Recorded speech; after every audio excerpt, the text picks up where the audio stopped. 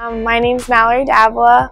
I'm a sophomore here at Stevenson. I am a nursing major and a member of the Stevenson Women's Lacrosse team. What drew me to Stevenson was the amazing facilities here.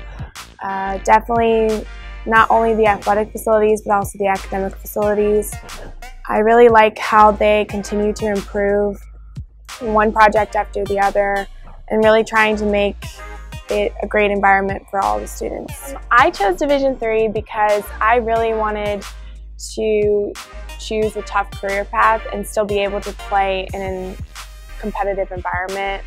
Um, I really thought that while looking at other schools, I wouldn't be able to do both.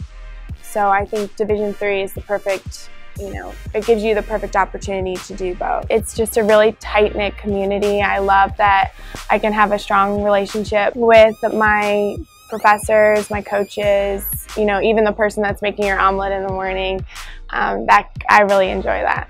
It's something that sets Stevenson apart from other nursing programs is that there's so many hospitals that they branch out to, and um, so you get a different, a variety of experiences. It's not just one hospital that you're linked to; it's multiple, and usually those hospitals are they're top tier hospitals, so that's nice to have a foot in the door that way.